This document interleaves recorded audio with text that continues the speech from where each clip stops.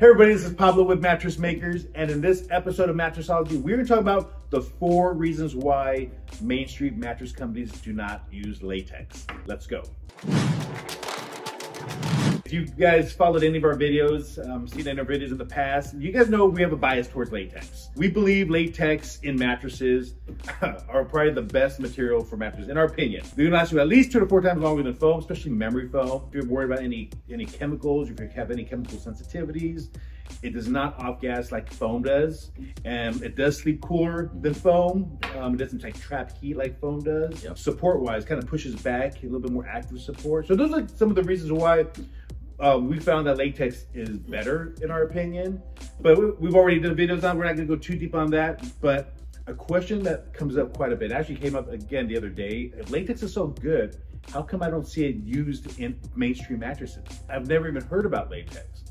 So we want to do this video to show you like why you know you're not going to see it because there are some significant reasons why a lot of these mainstream companies are not going to use latex. When I say mainstream companies, I'm not trying to bash them, but I'm talking about like the Sealy's, the Simmons, the Sertas, the Tempur-Pedics. Now they do use latex on some of their mattresses. Some of their mattresses have latex in it, but it's not used prominently. Yeah, yeah, it's very minimal. they do have some, but it's not really a big part of their, their makeup. Mm-hmm. So, Gabe, what would you say is probably the number one reason why you don't see latex used in a lot of these mainstream companies? Yeah, the biggest one is going to be it's, so expensive, right? So much more expensive for latex Yes. than it is for foam. Oh, yeah. That's that's the biggest reason why. Especially with containers going up. Uh, Container pricing gone up. It has almost doubled. Latex is has to be grown, right? So it's grown from a tree. It's not grown anywhere here in the United States. So it's brought either in South brought from South America, brought from Southeast Asia.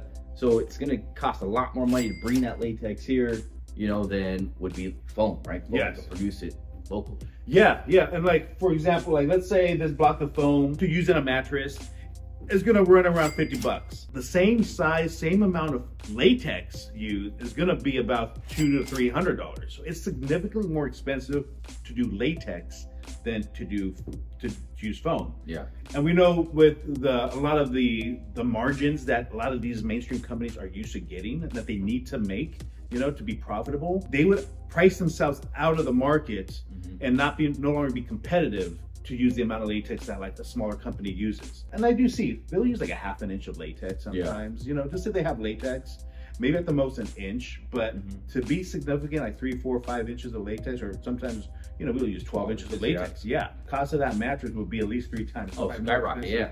than what we do, you know, because they have to make these bigger margins. You know, so that is probably one of the biggest reasons why it is just so much more expensive to use this than it is this. Yeah. The second reason why you you don't see latex used in all these mainstream companies, Gabe, what would you say number two? There's nothing proprietary about latex, right, that you can't say with foam. And what I mean by that is you look at a mattress build out, whatever whoever's making that mattress, whatever brand is making you say it's you know they trademark it's an aerated foam or it is a you know fast response foam. You Yeah. can't you can't you know trademark those things, right? Latex is latex, Yeah. right? So nothing proprietary about it. Yeah, but you know what? Companies out there that have done like they've tried to infuse latex like copper. I've seen copper. Right. Copper, there's copper. gel infused latex, graphite infused latex. Now, here's the problem with that. The reason why people like latex is the durability of the latex Yeah. and the chemical free aspect of the latex. For sure. Those are the, the two big reasons why I see people with latex. But Mhm. once you start doing those things with latex, you lessen that durability and you take away that whole natural aspect Right. and it just doesn't perform the way latex is used to perform. And that's better than foam. I would say, I would give it that. It is better than foam, but you're very limited on the proprietary aspect. Yeah, like you were saying, what, like air cool, cool max. Full max foam. Yeah, all these all these fancy names, right? Yeah, like they'll, you know, they'll put a new color, you know, the, the little swirls and the gel in there I've seen. Yeah. You could do all that and they're like, this is our own foam. I can't compare this with another company, you know, because we have this Hypergel Lux uh, Cool Max foam, you know? They don't have that. With latex, it's easy, you really don't, you can't do that sort. Yeah, that's the second one I can think of. That's reason why it's not not you know those big manufacturers aren't using latex. And then, so the third reason why we don't see latex used as much in the mainstream, what, what would you say? Ah, it's it's it's tougher to manufacture latex than it is foam. So when the latex is manufactured, right, they're pouring them in this mold in these six inch blocks. So you have to pour them individually. Whereas with foam, you're making this huge like I don't know, think of like bread right? And you slice the bread. So you're making these big buns of of, of foam, um, so it's a lot more easier to, to manufacture. Cost, you know, we already talked about cost. Yeah. It's cheaper, so the ease of manufacturing is going to be a lot easier with foam than it is. Like, Oh yeah, yeah. You could mass produce so much easier. You can mass produce this by the tons compared to with latex. Yeah. And you're you're just saying too how these guys are. We have to ship these from the other side of the world. You know, Yeah. these come from Southeast Asia, sometimes in South America, where we can mass produce it pretty easy. Yep. You know, it is a lot more labor intensive to do latex than it is foam. Yeah. Yeah, and then with container prices, and I kind of mentioned it earlier, but yeah, container prices have shot through the roof. Oh, yeah, where these are all have to be imported. You really don't have to import these. These the raw materials not as much as this. Yeah. Ours is coming from Sri Lanka.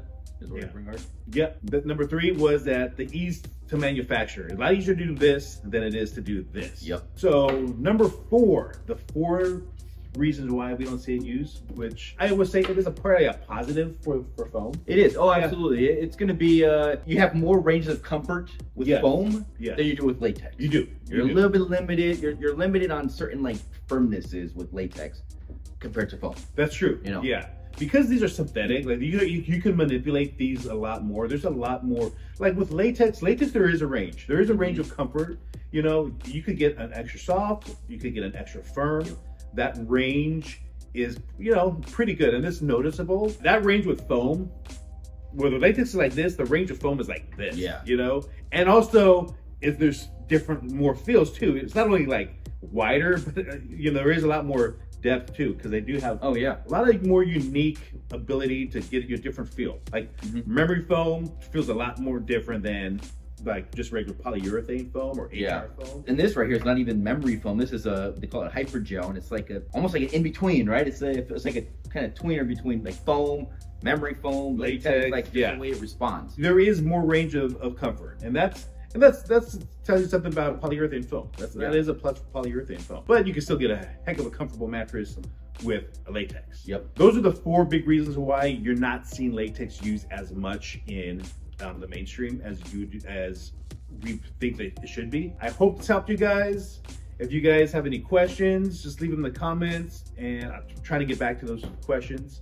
Uh, subscribe. You can- Yeah, subscribe, hit the like button, share it with uh, anybody that's looking for a mattress that you know. Share it with your friends on any of the social media channels. We love it. Yes, and also you're still on your mattress journey. We put together a guide, a little mattress guide for you. Um, you can just download it um, uh, from one of the from the link below. If you're new to mattress shopping, check out our latex versus um, memory foam video. That's a great video to start. And also Talalay versus Dunlop. Those are the two videos, probably the next one I would watch. Hope this helps. Thanks for watching. Thank you.